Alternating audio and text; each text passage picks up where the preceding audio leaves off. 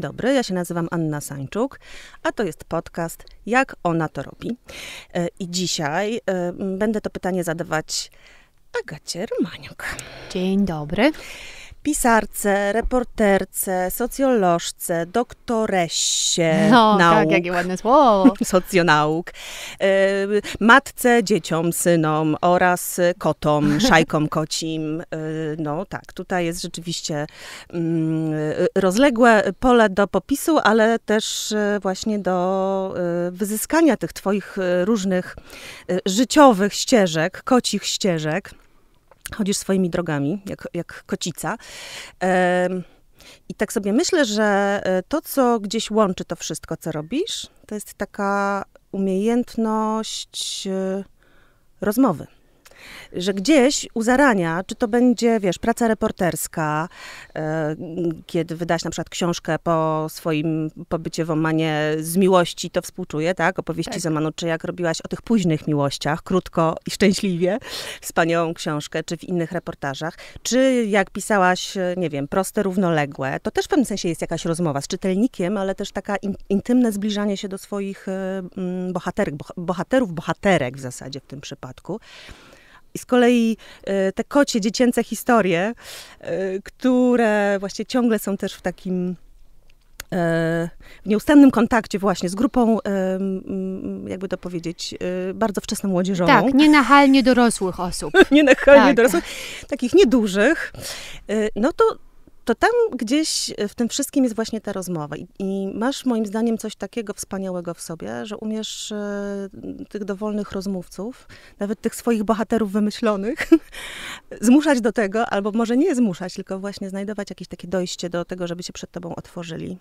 Jest coś w tym. E, ja nawet jadąc tutaj dzisiaj do ciebie i do państwa, no opowiadałam mojemu synowi, bo mijaliśmy dom mojej babci, że byłam bardzo smutną dziewczynką, samotną mm. i smutną dziewczynką, która siedziała na parapecie w kuchni, liczyła nieliczne wtedy pojazdy zagraniczne oraz polskiej rodzimej produkcji i ponieważ nie miałam za bardzo możliwości bawić się z rówieśnikami, to opowiadałam sama sobie historii, rozmawiałam z wymyślonymi przyjaciółmi, różnymi postaciami historycznymi e, i myślę sobie, że to się wzięło stąd, z takiej potrzeby kontaktu i potrzeby spotykania ludzi i słuchania ich historii. A ludzie bardzo chcą być opowiedziani, hmm. bardzo chcą być wysłuchani. E, I ja często dostaję takie pytanie, no jak to się stało, że pani tych bohaterów otworzyła, albo że oni chcieli opowiedzieć. Oni tak, tylko o swoim tak, życiu intymnym na, na przykład. przykład. Mhm. Najczęściej jest tak, że oni tylko na to czekali ale nie było okazji. E, albo spotykali się natychmiast z jakąś krytyką, oceną, radą. Ja ci powiem, jak żyć. E, na pewno nie w trójkącie, Lusiu. I tak dalej. Więc, e, więc wydaje mi się, że to jest o tym. To nie jest, że ja mam jakiś niezwykły dar, tylko że jest ta ogromna potrzeba. W mhm. ludziach i w kotach może też, żeby, żeby być zauważanym, zauważonym, żeby być dostrzeżonym, żeby ktoś o nas usłyszał, zauważył może empatyzował z tym, jak żyjemy. Mhm, ale wiesz, co mi się wydaje, że tak naprawdę chodzi o, yy, o to, że, że, że, że ktoś się też na nas skupia, że to nie jest to, czego doznajemy w takiej rozbieganej codzienności, która osiąga już tempo naprawdę chore i przekraczające możliwości normal, jakby wytrzymania normalnej osoby, tylko że to jest taki właśnie moment zatrzymania i moment takiego przyjrzenia się sobie. Ty sama, czy, yy, prawda, sobie się przyglądasz, twój rozmówca, rozmówczyni sobie się przygląda, wzajemnie w sobie się przeglądacie. To jest na przykład dla mnie to, co tutaj yy, się dzieje, dlaczego bardzo lubię tutaj przychodzić i się zamykać w tym pokoiku, dlatego, że to jest właśnie poza światem, w jakimś takim odsunięciu, możliwość spojrzenia komuś w oczy i bycia tylko z tą osobą, rozmawiania e, o tym, kim jest, co myśli, jak czuje. Tak, i nie ma e, żadnych innych rzeczy, które by nas rozpraszały. Nie, a może tutaj Kipi Bigos, a może jeszcze byśmy obejrzały coś na pasku TVN24 i tak dalej. Ja sobie myślę, że jestem osobą podobnie chyba jak ty, która dosyć szybko mówi, mhm. ale staram się wolno słuchać. To znaczy dawać ludziom czas, nie pośpieszać ich pytaniami. Jeśli chcą opowiedzieć o czymś innym niż o to, o co pytałam, to dać na to przestrzeń. Więc żeby usłyszeć o na przykład trójkącie erotycznym 80-latków, pani Lusi, pana Mańka i pana Ryśka, to musiałam najpierw bardzo dużo usłyszeć o ich dzieciństwie, o najlepszym przepisie na ogórkową, o tym, jak ten rząd tam nam nie daje żyć i tak dalej. Godzinami musiałam słuchać mhm. tego. Musiałam, chciałam. Właśnie po to, żeby dać przestrzeń na to, żeby zaistniało to, o czym opowiedzieć było może trudniej, albo oni mieli poczucia takiego, że mogą mi od razu zaufać. Więc to też jest pewnie o tym, że czas w słuchaniu jest ważny. A przy tym tempie życia, które mamy, czas jest zasobem no, niezwykle cennym i kurczącym się. Mm. E, więc e, tego nam wszystkim chyba potrzeba. Czułe słuchanie, o. Tak, czułe, tak czułe powolne słuchanie. No. E, powiedziałaś, że byłaś smutną dziewczynką, a, ale dlaczego? To byłaś dziewczynką mieszkającą w, w Wiśle, dobrze pamiętam? Nie, właśnie nie, czy ty nie, się tam, nie. bo ja jakoś tak cię kojarzę, prawda? Tak, że, że jeździłam do Wisły rzeczywiście do mojej prababci w lecie, ale w ciągu roku mieszkałam normalnie w Warszawie i po szkole przychodziłam do mojej babci, która była dosyć surową kobietą i trzymała mnie krótko i raczej nie pozwalała mi się bawić z rówieśnikami, tylko właśnie siedzieć na tym parapecie i czytać książki, więc byłam taką smutną. Ale teraz jestem wesołą kobietą, więc to się wszystko jakoś odwróciło, chociaż Chociaż jeden chłopiec ostatnio na spotkaniu autorskim nachylił się do mnie i powiedział mi, jest pani najsmutniejszą, wesołą osobą, jaką spotkałem. I pomyślałam sobie, och, dzieci, te małe diabły, one wiedzą więcej. Zresztą spotkania z dziećmi, muszę powiedzieć, są niezwykłą o, taką lekcją słuchania i uważności, bo bardzo często to wygląda tak, że jest jakieś spotkanie autorskie i prowadzący, na przykład bibliotekarz, mówi: Teraz jakie macie pytania do autorki? Dzieci mhm. podnoszą ręce i wcale nie mają pytań, chcą coś opowiedzieć. Mhm. Albo o sobie, albo o swojej mamie, albo podzielić się jakąś refleksją na temat świata. Ostatnio był chłopiec, mówił, że nie jest pewien, czy ptaki też idą do nieba. I czy może ja coś na ten temat wiem? Bo on myśli, że wszyscy mogą iść do nieba, nawet najmniejsze dżownice. I on chciał to powiedzieć po prostu, a pewnie nie było przestrzeni nigdzie indziej, hmm. żeby ktoś mógł to usłyszeć. To jest w ogóle jeszcze taki piękny moment e, w życiu tych młodych ludzi, kiedy oni jeszcze nie są tak bardzo wciśnięci w te pudełka, nie tak. są tak sformatowani przez szkołę, niestety powiem to. Mhm. E, nie wiem, czy dożyję takiego dnia, w którym e, uda się coś zrobić z edukacją w Polsce, na tyle, żeby ona po prostu dawała ludziom przestrzeń, a nie odkrawała ich po plasterku tak, po kawałeczku. Nie... Wiem, że jesteś w trójce klasowej. Tak, jestem w trójce klasowej, ale też między innymi po to, żeby żeby trochę tą maszynę zatrzymać, która jest nakręcona na to, żeby reprodukować wiedzę, żeby powtarzalność była idealnie pruska. I nie ma tam się miejsca, właśnie tak, w jakiś wzór, nie? I nie ma tam miejsca za bardzo na to, żeby słuchać o tym, czy właśnie pelikany idą do nieba, czy może tylko małe ptaki, bo mhm. tam już jest naprawdę ciasno. I o tym rozmawialiśmy z tym chłopcem. A to jest trochę właśnie też ten świat, o którym mówisz z tego parapetu i z tych książek, kiedy y, nie możesz y, zetknąć się z materialną rzeczywistością, w sensie, no nie wiem, wejść w jakąś grupę na przykład i tam w niej łobuzować albo budować te relacje, albo się zmagać, tylko robisz to w swojej głowie i wchodzisz w te światy też e, cudze. Więc ci pierwsi przyjaciele, oprócz tych wyimaginowanych, to jacy byli? Ja pamiętam, że to jest pewnie taka osoba, która tutaj powraca w rozmowach z kobietami, ta co konia trzyma nad oczywiście, sobą, nie? Oczywiście, oczywiście w tej samej zresztą wersji. Tak, w tej samej oczywiście pięknej wersji. Żółta tak, książka która, z Pipi. E, nie, wiem, czy pamiętasz, jak się Pipi kończy? Jakie jest ostatnie zdanie pierwszej części? Ostatnie zdanie pierwszej części, nie, chyba tak nie będę e, no, e, pamiętała. Co mi się dosyć ważne wydaje, bo ona woła do Tomiego i Niki, którzy wychodzą zamykając za sobą furtkę. Hej, a kim chcecie zostać, jak będziecie dorośli? I nie pada żadna odpowiedź, ale Pipi mówi za siebie, bo ja piratem no jeszcze wtedy nie było feminatywów, tak. ale i pomyślałam sobie, że teraz sobie myślę, a wtedy odczułam to bardzo mocno jako mała dziewczynka, Jesteś że piratem? że można zostać piratką, jeśli się chce, nie? Że nie jest tak, że dziewczynki mogą być tylko kucharkami krawcowymi, nauczycielkami i tak dalej, i tak dalej. Można, można zostać piratem, więc czy piratką teraz. E, no i to było coś, co rzeczywiście było dla mnie niezwykle ważne. Pewnie czytałam tę książkę 84 razy i teraz pod synami kolejne drugie tyle. Ktoś powinien zrobić takie badania, wiesz, jak bardzo to, y, ile mm, kobiet uformowała ta książka. Prawda? Właśnie tak. kobiet. Kobiet, tak. Co mhm. ona im pokazała, to znaczy jaką przestrzeń, przestrzeń wolności y, do której być może właśnie w tych bardzo takich y, układnych czasem albo wręcz y, no, przyduszających domach, gdzie trzeba się było wpasowywać, zwłaszcza jako dziewczynka, prawda, właśnie w, w ten wzór grzecznej. Co to właściwie nam robiło, co nam pokazywało. Tak, prawda? Wyspy Zwłaszcza... nieznane, tą samodzielność, tak, ale i te tę duże, siłę. Te duże stopy i rude włosy. I jednak I nie do końca, z tego, Tak, prawda? i nie do końca tradycyjny ubiór, bo jednak Pipi nie chodziła w fartuszku i tak dalej, prawda? Ja dobrze pamiętam bal karnawałowy w drugiej klasie, gdzie wszystkie dziewczynki oprócz mnie były przebrane albo za wróżkę, albo za królewnę, I chyba to był już koniec. Ja byłam oczywiście przebrana za Pipi a, i myślę, że to było dla mnie ważne, bardzo ważne wtedy, no, żeby mieć tą przestrzeń. Mm, tak, no i to właśnie czuję, jak to wraca w różnych powieściach. Co prawda była to dziewczynka w gruncie rzeczy yy, no, ze smutną historią. Tak, to była dziewczynka oczywiście. osierocona, która też swoją odwagę budowała na tym, yy, że właściwie nie miała wyjścia. I... To prawda, ale też dziewczynka, która sobie wybrała rodzinę, która sobie Mhm. wybrała przyjaciół i to, jak będzie żyła, a Mhm. nie polegała tylko na tym braku, który no, nie, nie, nie z jej winy został jej przypisany. Mhm. Bardzo mi się podoba, co, to, mm, co powiedział ci ten chłopiec o tym, że jesteś najsmutniejszą, wesołą osobą. Osobą, jaką poznał. Tak. Bo ja też tak ciebie postrzegam. To znaczy jest w tobie bardzo dużo takiego ciepła, światła, radości, ale jest też taki, mm, no, no jest tam takie, takie ciemne pasmo, jest, jest ta melancholia i taka, ona też się bierze chyba z takiej po prostu też świadomości, stąd się bierze też empatia, ta umiejętność słuchania, bo musimy sami przeżyć trudne rzeczy, żeby móc y, umieć zrozumieć tę osobę po drugiej stronie po prostu. To jest pewnie jedno, a drugie. Dużo się złych rzeczy dzieje na świecie, nie? Znaczy, dzisiaj rozmawiamy, piękny w sumie, ciepły, jesienny dzień, a dzieci w gazie umierają, nie? I Mhm. zawsze jest po jednej i po tak. drugiej stronie. po jednej i po drugiej stronie. I zawsze jest coś. I dzisiaj jechałam do lekarza z moim synem starszym i myśmy robili kiedyś taką dużą akcję z, ja z Ignasiem e, na rzecz dzieci z Aleppo, w której on, on w ogóle ją zainicjował. To była taka ogromna akcja społeczna. I on mówi, mamo, dopiero co zbieraliśmy te pieniądze na dzieci w Syrii. Dlaczego teraz są nowe dzieci? I on zadał to pytanie tak naiwnie, bo jest naprawdę świadomym, dorosłym, dorastającym chłopakiem, ale z takim, taką niemocą, jak to jest możliwe, nie? Mhm. że to jest. em, więc tak, trudno być bardzo wesołym w tym świecie. Nie? Ale pewnie świat zawsze trochę taki był, tylko może nie zawsze. Czasem jednak trzeba było poczekać, aż statki przywiozą te gazety z innego Mhm. kraju, nie? Tak. E, A teraz mamy to na wyciągnięcie ręki i to jest, e, to Trudno jest to trudniejsze chyba. Trudno to pomieścić, nie?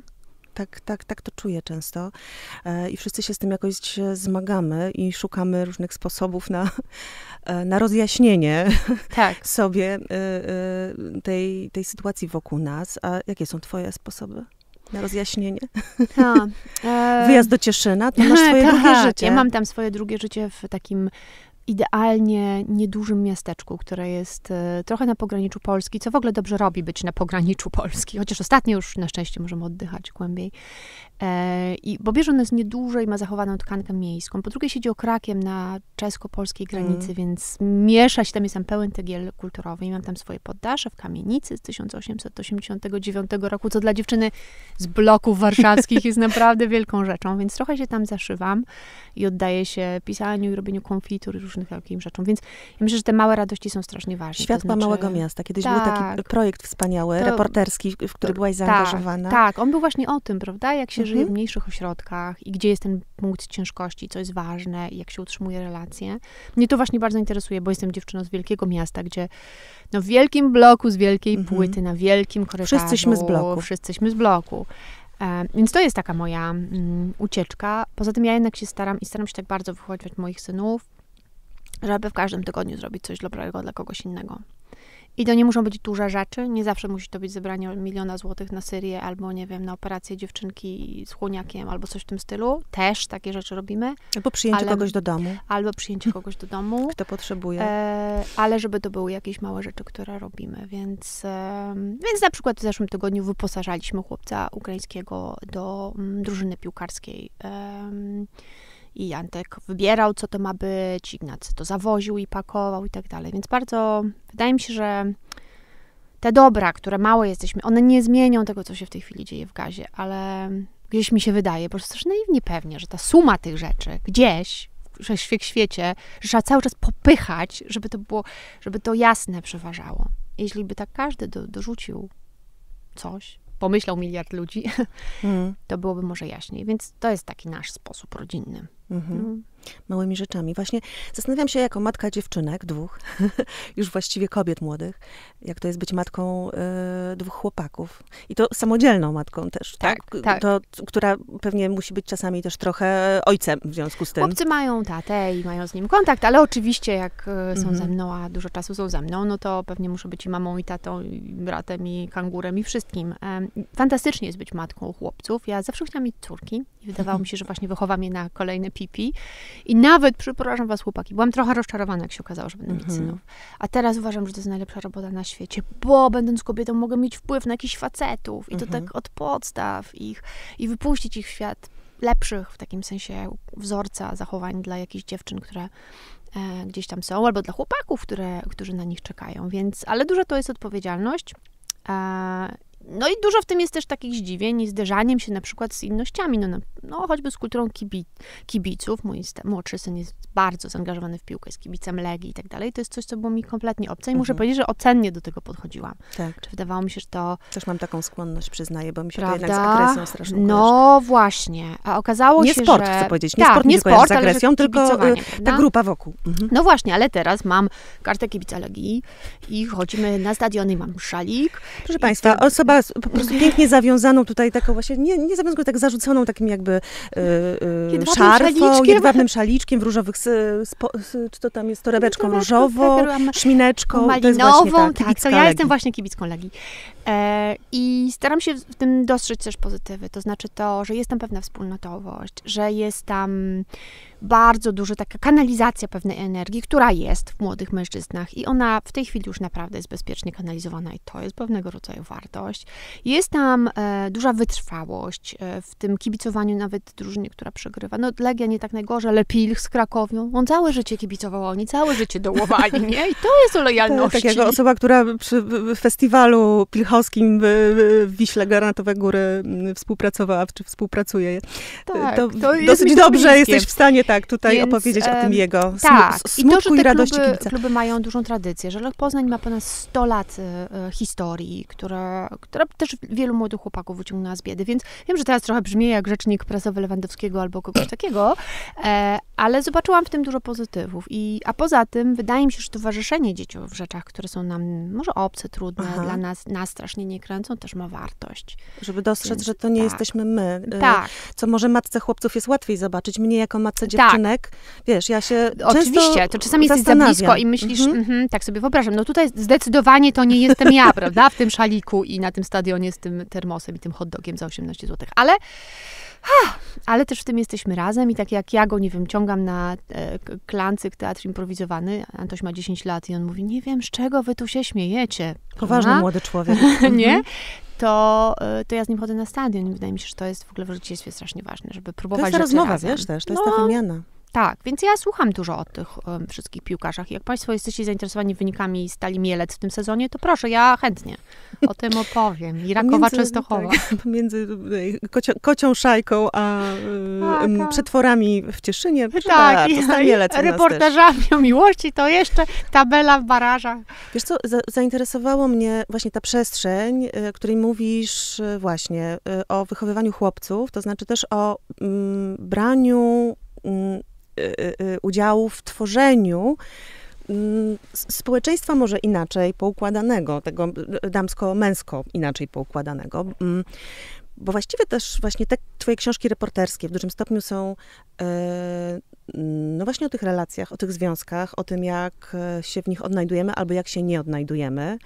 Mm, I, I właściwie też mi się często takie pytanie nasuwa, żyjąc tutaj, tu i teraz, czy my w ogóle e, umiemy tu w tym kraju tak jakoś dobrze być w związku, dobrze kochać. To jest Boże, strasznie Wiesz, nie bo, umiemy bo, chyba nadal, nie? mm, Bo jednak też często rozmawiam ze swoimi e, em, kumpelkami, z przyjaciółkami, z kobietami. I rzeczywiście ich doświadczenia z mężczyznami są no, dosyć bolesne w większości. Nie mówię, że zawsze tak jest, ale coś w tym jest. I to jest też takie pytanie, czy, czy mamy szansę w ogóle to zmienić? Będąc matką chłopaków, pewnie jakoś tak, tak? Bo możemy, no nie wiem, chociażby dać im większą przestrzeń wrażliwości. Mm, Ja Tak, też częściej oczywiście. u młodych osób, e, dużo młodszych ode mnie, znajduję jakieś takie elementy, które zadziwiająco są mi bliskie właśnie w tych młodych mężczyznach, albo właśnie w takich ludziach, w osobach, które wcale nie muszą, mm, rodząc się jako mężczyźni, tak wpisani w papiery, czuć się takimi jakimiś samcami strasznie, w takim e, e, stereotypowym wydaniu. Tak. Mogą być bardzo kobiecy. E, i bardzo w pełni się realizować. To jest bardzo też dla mnie ciekawe, ta, wiesz, ta płynność płciowa, która się pojawia i to przyzwolenie wśród młodych osób. Paradoksalnie mi to jakoś bardzo odpowiada. O, mi również, mimo że jesteśmy troszkę jednak od nich starsze. Ale wiesz co, powiem ci, że czasami jest też tak, że my się tak czaimy z różnymi tematami, które są jakoś tam płciowe, a oni już są w ogóle z tym oswojeni. Podam taki przykład. Ostatnio, z rok temu to może było, yy, była u nas na nocowance przyjaciółka moich synów, z którą się znają od bardzo wczesnych lat dziecięcych. I Hania mm, miesiączkuje już, więc spytała mnie jakoś tam w kuchni, czy mam jakąś tą mhm. podpaskę taką grubszą na, na noc. No, ja jej dałam i tak dalej. Rano ona e, i Właśnie nie, jeszcze wieczorem powiedziała, że trochę ją boli brzuch, to się wcześniej pomoże, więc Ignaś wtedy wstał, mój syn, który miał wtedy 13 lat, powiedział, wiesz co, to ja ci zrobię termofor. No zrobił ten termofor, a rano jak wstali, to Hania mówi, wiesz Agata, ale trochę zabrudziłam prześcieradło. Na co Ignacy mówi, no to chodź, weź, zdejmiemy e, z łóżka i ja wrzucę od razu do prania. Nie, chodź, tutaj masz wanisz.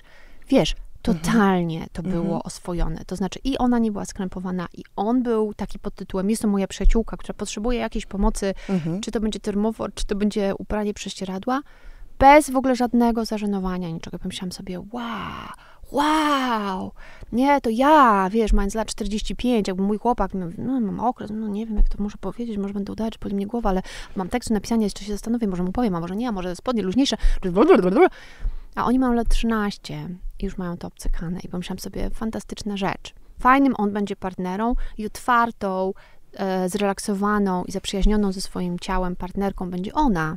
No, pozazdrościć. Tak, pamiętam taką pracę wspaniałej artystki Pipilotti Risti. Tutaj zresztą e, do Pipi się zbliżamy w tym jej niesamowitym też imieniu. Pipilotti Risti, która miała taki, taką pracę swoją, taki film, w którym e, ona, bohaterka tego filmu, tej pracy wideo, idzie w spódnicy poplamionej krwią, E, i z dumą niesie tą mm -hmm. plamę na swojej mm -hmm. spódnicy mm -hmm. i cały świat jej się kłania. I mhm. po prostu policjantki składają jej hołd i mm, tutaj siostrzeństwo nawiązują.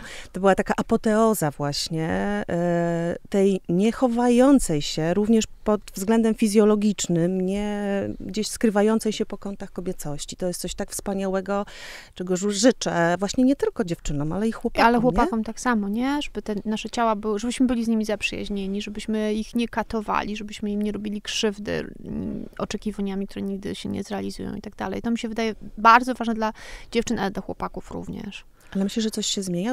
Masz bardzo ciekawe doświadczenia, bo na przykład masz też inne, inne, z innej kultury takie obserwacje. W tej książce Zamanu, gdzie weszłaś w świat kobiet, um, świat taki, który jest niewidzialny z zewnątrz. Trzeba być w tej społeczności, bo jednak te światy męskie i kobiece są tam bardzo oddzielone. Miłość właściwie nie wiem, czy miłość, y, y, małżeństwo podlega, czy w ogóle związki tak. podlegają kontraktom. Y, kontraktom. Tutaj są po prostu zasady bardzo, tak, do, do spisania, regulaminy. Coś zupełnie inaczej jest to wszystko traktowane. Więc jakby z jednej strony tam mogłaś się przyjrzeć temu, jak one sobie radzą w takim świecie i czy to jest ok, czy nie jest ok. Z naszego punktu widzenia stereotypowo na pewno nie. E, bo wydaje nam się, że są więźniarkami jakiegoś e, formatu. E, no ale z drugiej strony żyjesz tutaj, masz swoje doświadczenia rozmaite, jeszcze rozmawiasz z ludźmi właśnie. Zresztą w książce Krótko i Szczęśliwie w pewnym sensie też opisujesz własną historię miłosno-korespondencyjną, po prostu tak. taką, powiedziałabym, prawie z jakiejś francuskiej, XIX-wiecznej literatury. Tak, tak, tak, tak, tak. Jak Wiesz na to co, patrzysz? Co, czy, mamy szansę coś Właśnie, czy mamy szansę. I, i czy coś umiarkowane optymistką, to znaczy... Przy Tinderze, wiesz, tak, Grindrze i tych no wszystkich... No właśnie, że wcale nie jest łatwiej. Wydaje mi się, że ta presja jest rosnąca. I nawet dziewczyny, które są schowane za abają czy pod hijabem, podlegają tej samej presji, co my. To znaczy, to nie jest tak, że przez to, że one mają założoną czarną szatę, która zakrywa łokcie i kolana, to, że pod spodem nie denerwują się, czy mają fałdkę taką, czy inną. Wręcz przeciwnie. Znaczy, one się tam katują zarówno dietami, jak i zabiegami, które wybielają cerę i w ogóle skórę, dlatego, że im bielsza tam kobieta, tym jakby mhm. wyższy status społeczny. Więc operacje plastyczne absolutnie na porządku dziennym i tak dalej, bo to wcale nie jest, wiesz, one też się kiedyś rozbierają. Rozbierają się nie tylko przed mężczyzną, ale przed innymi kobietami. W Omanie w ogóle to jest tak, że żeby wyjść za mąż, no to trzeba się w którymś momencie innym kobietom pokazać bez abai, czyli bez tej czarnej szaty. I najczęściej to się dzieje na weselach, na których są same kobiety. I one wtedy przychodzą wystrojone tak, że nie możecie sobie Państwo wyobrazić jak, po prostu z piórami pajwimi w tyłku. I wiją się tam na parkiecie same kobiety, a, a kobiety, stare kobiety z, z ważnych rodów siedzą naokoło, jak po prostu I na oceniają? pokazie koni oceniają, tak. Czy Straszne. ma piękne pęciny, czy ma piękne piersi, czy jest szczupła czy będzie dobrze rodzić i tak dalej, więc, um, więc tak jak one są Czyli zasłonięte, towar, ale nie są ciągle jednak. towar. Mhm. Z drugiej strony, jak mówię to dziewczynom w Omanie, mówią tak, a wy na Tinderze to co? To Mhm. samo dokładnie, tylko na widoku publicznym i na widoku mężczyzn, którzy swajpując mówią. No ja ostatnio miałam taką historię na Tinderze, że właśnie jeden pan powiedział mi, ja jesteś taka piękna, ale taka strasznie chuda, czy to nie jakaś poważna choroba? Więc ja odpisałam, tak, dżuma. Prawda? Więc jakby jak łatwo to przychodzi. Więc wydaje mi się, że i my na zachodzie, i dziewczyny tam na wschodzie podlegamy ogromnej presji cały czas i nie wiem, jak zawrócić ten, e, Mhm, ten, ten bieg. Oprócz tego, Nurt. że właśnie wychowywać tych chłopców i tem, no bo tych starych kobiet już się nie wychowa, tych ciotek, co tam na tym targu łypią okiem, ale, e, ale żeby wychowywać chłopców i dziewczynki, żeby nie mieli względem samych siebie i względem tej płci przeciwnej jakichś takich nierealistycznych e, oczekiwań. No, nieproste to jest. Nieproste, nieproste. Mm, y, W takim komforcie przede wszystkim dla siebie. Nie? Znaczy w sensie takim, że czujemy się dobrze w tej swojej skórze, nie? Ale to jest związane z tym, co nas, co nas e, y, otacza. Y, Tutaj mówimy dużo o tych, wiesz, twoich rozmowach i spotkaniach takich reporterskich, ale mm, od pewnego momentu zaczęłaś pisać e, fikcję. E, Która też jest zanurzona, tak jak na przykład w prostych równoległych, jednak jakoś zatrąca rzeczywistość. Ta postać skrzypaczki jednak nam się z Wantą e, Wiłkomirską kojarzy. Tak, tak, I są oczywiście. tam elementy ze świata mm, perelowskiego, które przywodzą na myśl bardzo konkretne związki i osoby. Ale y, nie mówiąc już o kociej szajce, chociaż to akurat jest y, bardzo realistyczna y, opowieść o tych detektywach koci kocich. internet to jest w ogóle w każdym większym, mniejszym mieście, czasem się zapcha parówkami, to proszę Państwa, normalna sprawa jest. E, y, gdzie ty się czujesz bardziej u siebie? Do tego jeszcze jesteś socjolożką. Ja chcę powiedzieć, że piszesz też tak, tak zwane bardzo poważne książki, zapalniki zmian. Jak projektować zachowania? Zapisałam sobie to. Rozumiem, Tak. że jesteś po prostu osobą, która potrafi zaprojektować y, dzięki temu świadomie Wiesz co, zachowania. trochę się oczywiście tym odczytać je. e, zajmuję, to znaczy znowu w takiej służbie dobra staram się, to znaczy na przykład teraz realizujemy taki projekt e, dla dzieciaków, które chorują na fenylekotonurię, Mhm. które jak wchodzą w wiek nastoletni, to przestają brać leki, bo to jest nie cool, bo ta dieta, którą one muszą przyjmować jest no, obciachowa wobec y, rówieśników i, no, i bardzo ciężko chorują. Więc ja robię taki z moim zespołem projekt teraz o tym, jak to zrobić, żeby utrzymać to, to, tą taką no właśnie rzetelność przyjmowaniu Mhm. diety. Więc tak, zajmuję się takimi poważnymi No właśnie, sprawami, się za, zmianą zachowań. Bardziej tak. socjolożką, y, autorką książek dla dzieci, reporterką, Ja powieściopisarką. w ogóle, wiesz co, to jest pytanie, które często pada. Ja w ogóle nie zastanawiam się nad tym. To jest takie, że dzisiaj przyjdę dzisiaj w żółtym kapeluszu, jutro przyjdę w berecie, a, a trzeciego dnia przyjdę w trampkach. Zależy, Mhm. co mam do zrobienia. Co dzisiaj noszę? Tak, co dzisiaj noszę. Dzisiaj jestem dziś, socjolożką. dzisiaj jestem socjolożką i dzisiaj dziś małą wykładam na uczelni. pipi. Tak, a dzisiaj czasem się zdarza pomylić i zdarza mi się na jakimś spotkaniu biznesowym zacząć mówić głosami z kociej szajki, ale szybko wracam do, e, do tego trybu, więc e, to mi bardzo odpowiada. Wiesz, ta możliwość pracy w różnych rolach i, i pracy i z dziećmi właśnie i z dorosłymi, no nie wiem, no w tym, tym projekcie, o którym teraz mówię, przedtem robiliśmy taki projekt dotyczący żywienia medycznego pacjentów onkologicznych, no to spędziłam wiele miesięcy i tygodni na oddziałach onkologicznych, rozmawiając z chirurgami, radiologami, radioterapeutami i tak dalej, bardzo poważnych sprawach. Ale potem super mieć odskocznie i napisać kryminał dla dzieci albo napisać książkę dla przedszkolaków. No. Mhm. To jest jak prysznic, jak prysznic po prostu w słońcu wtedy. A jak, jak dajesz radę zarządzać tym? Chodzi mi też czasowo, bo to jest, wiesz, kilka żyć w jednym. E, I tak jak zaczęłyśmy tę rozmowę właśnie od tego jakiegoś szalonego biegu, tego nurtu, który nas tutaj opływa tak szybko, przynajmniej w Warszawie, jak mówisz w Cieszynie, może trochę wolniej, ale może też zależy, co kto robi też, prawda? E, No ale generalnie już nawet to, że masz kilka różnych tych światów, po których się przemieszczasz i musisz je jakoś, jeszcze jesteś właśnie y, y, mamą tych dwóch chłopaków, no to musisz to wszystko pomieścić tam gdzieś. Ja- Jak to robić? Upycham to po prostu wszystko łokciem jakoś bardzo ciasno i... Nie płaczesz czasem ze zmęczenia? Bo ja na przykład płaczę. Tak, czasem tak, ale wiesz co, jedna rzecz, dla której jestem pewnie tą smutną dziewczynką, to to, że dwa lata temu zmarł mój brat, którego Mhm. niezwykle kochałam. I on zmarł młodo i był trochę jak mój trzeci syn. I jak już był bardzo ciężko chory, to jego dziewczyna zadała mu pytanie, Krzysiu, jak żyć? Jak ciebie mhm. nie będzie? A on powiedział wtedy, jak najbardziej.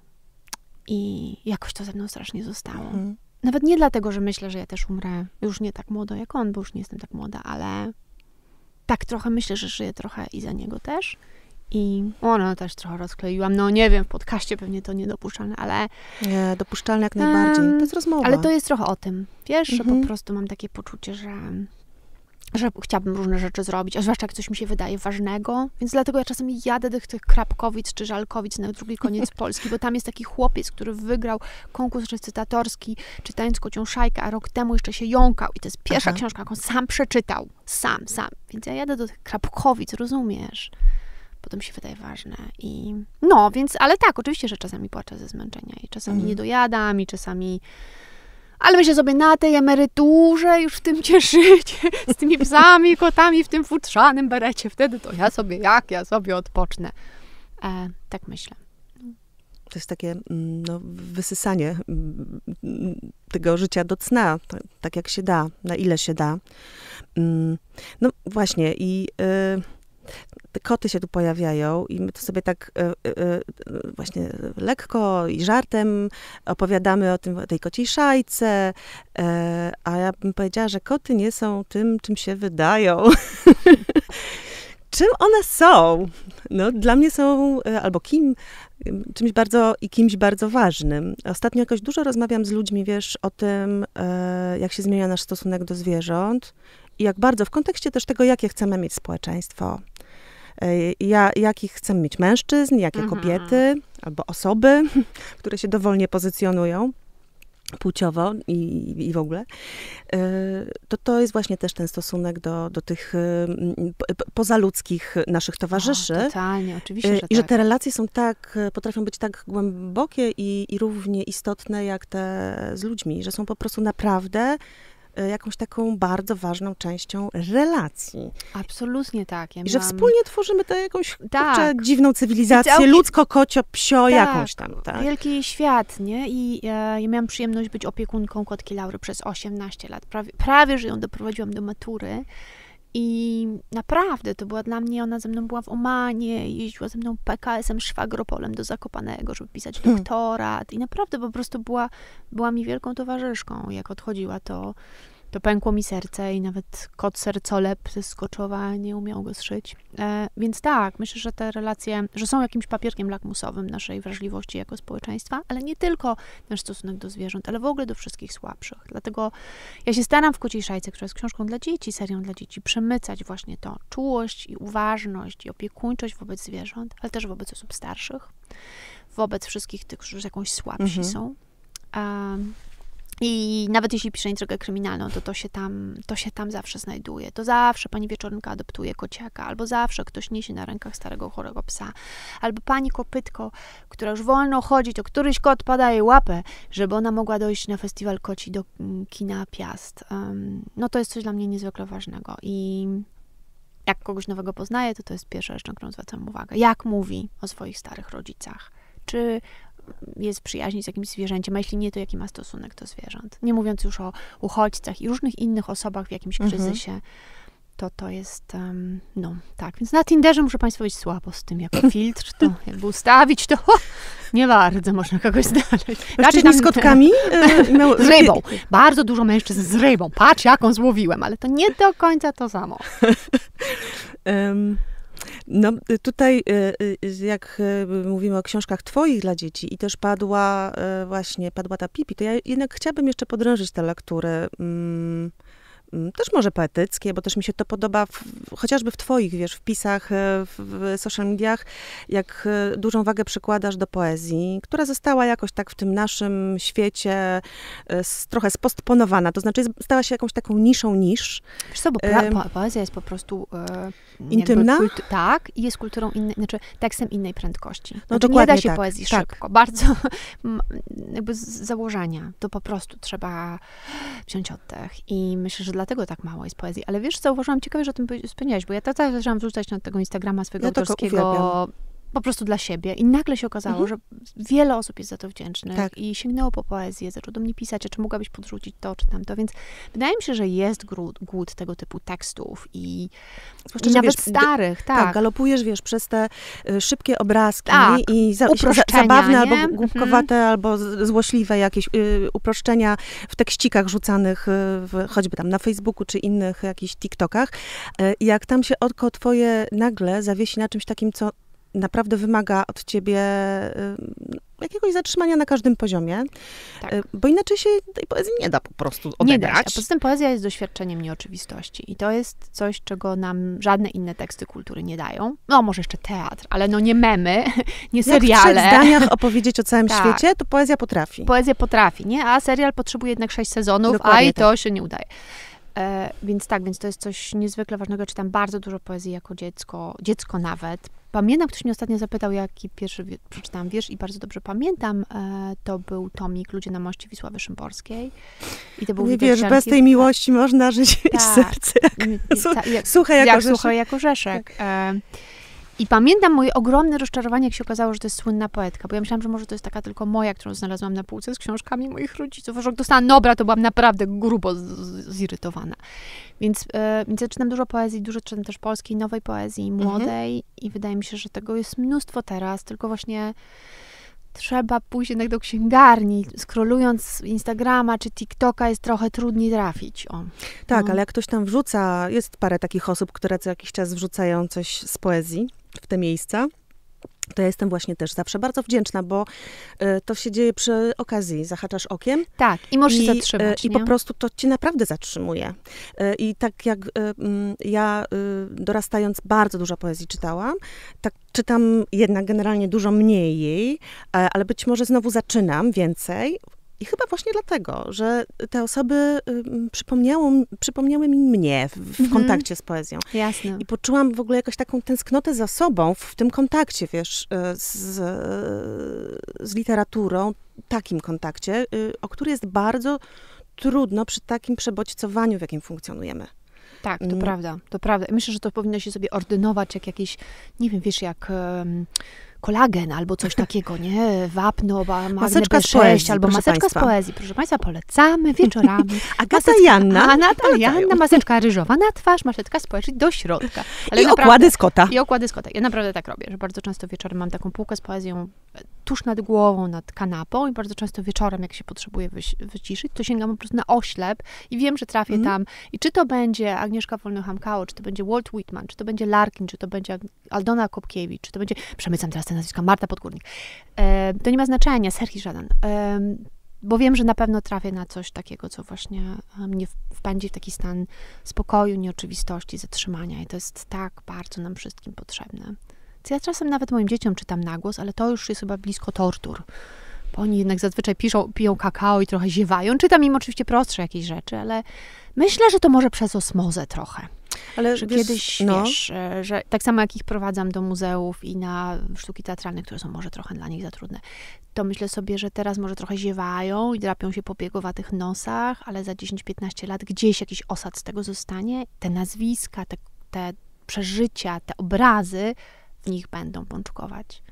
Tak, ja myślę, że to się osadza, wiesz, że, że to się naprawdę osadza. No nie bez przyczyny y, y, syn y, mojej serdecznej koleżanki jako mały chłopiec w Galerii Sztuki Współczesnej rzucał się na podłogę i krzyczał nienawidzę sztuki współczesnej, a teraz no sam jest artystą bardziej cyfrowym może, ale też znakomicie artystą, prawda? potrafiącym No też kształtować tak własnymi rękoma obiekty. Co tam się zadziało po drodze, a, a jednak była, prawda, to jest zawsze sobie to tak... mm, Osad, dla, osad z dla, kultury. śm- dla śmiechu sobie to opowiadamy tutaj w gronie znajomych, no bo też każdy z nas się zastanawia trochę, jak to z tymi będzie dzieciakami, które ciągamy tam na jakieś Warsaw Gallery Tak. weekendy. O znowu wystawa. E, wiesz, no To... Wiesz co, ja mam też bardzo dużo takie silne wspomnienie samej siebie. Znaczy, moi rodzice mnie tak prowadzili. Pamiętam, jak miałam 16 lat, to za- zawieźli mnie do Paryża i do Muzeum d'Orsay, gdzieś tam na Père Lachaise. Ja pamiętam, pamiętam ten ziew. Po prostu ten ziew, którym mam dziewczynką wyrwaną z PRL-u, chciałam do sklepów i w ogóle, wiesz, do modnych kawiarni. No, a potem to zostało, nie? Potem pojechałam tam jako dorosła osoba, widziałam te same obrazy, te same miejsca, te same, nie wiem, dzieła sztuki i, i budynki. Myślałam sobie, to są już Mhm. przyjaciele, to jest znane, to jest oswojone. Mhm. Chciałam to pokazać komuś innemu, więc nie, ten osad jest ważny. Osad kultury i maseczka z poezji. To jest nasze dzisiejsze postulaty na poniedziałek. Tak, tak. Ja zawsze sobie tutaj zostawiam takie, wiesz, że zapisuję sobie, potem kajecik mam taki, wpisuję sobie. Co ci z dzisiejszego Co podcastu? E, tak, te maseczki i osady, to, to, to, to sobie tutaj też od razu wpisujemy. Mm, i- i chciałam cię zapytać, w którym kierunku twoje właśnie te twórcze y, myśli i potrzeby teraz zmierzają? Bo ty, zdaje się, pracujesz nad jakąś nową powieścią, czy ja Tak, dobrze tak, wiem? tak, I też ma powstać jakiś serial z kolei z książki tej reporterskiej, jeżeli to jest dalej aktualne, bo nie tak, wiem. jest, tak, tak. E, Opowiedz Właśnie trochę nie o tym. serial, bo okazuje się, że Polacy, my nie lubimy e, seriali, które są e, antologiami, czyli że każdy odcinek jest o czymś innym, a ta książka tak jest skonstruowana, że każda historia jest historią innych bohaterów, więc to będzie raczej film, tak jak Love Actually, czyli że te wątki będą się przenikać i gdzieś Mhm. tam na jednym dworcu oni przypadkiem się spotkają albo coś I takiego. żyli krótko i szczęśliwie? I żyli krótko Kochali wszyscy, krótko, i wszyscy tak. żyli krótko i szczęśliwie. A pracuję nad e, powieścią, która, która zaczyna się w Bolonii, mm, na samym początku wojny w Ukrainie. Sceną, którą zresztą podpatrzyłam. E, Młodej dziewczyna, młoda dziewczyna, e, Ukrainka i, i chłopak, Włoch, którzy taką burzliwą rozmowę no, w mojej obecności przeprowadzili. I ona w przeciwieństwie do wszystkich innych wsiada w pociąg, marszrutkę do Charkowa, a nie tak jak wszyscy z Mhm. Charkowa wyjeżdżali. No i to będzie taka historia podwójnej tożsamości kogoś, kto nie jest pewny, czy właściwie jest Włoszką, czy jest Ukrainką, która jest w trudnej relacji z innymi ludźmi, z kimś też, do kogo tam jedzie.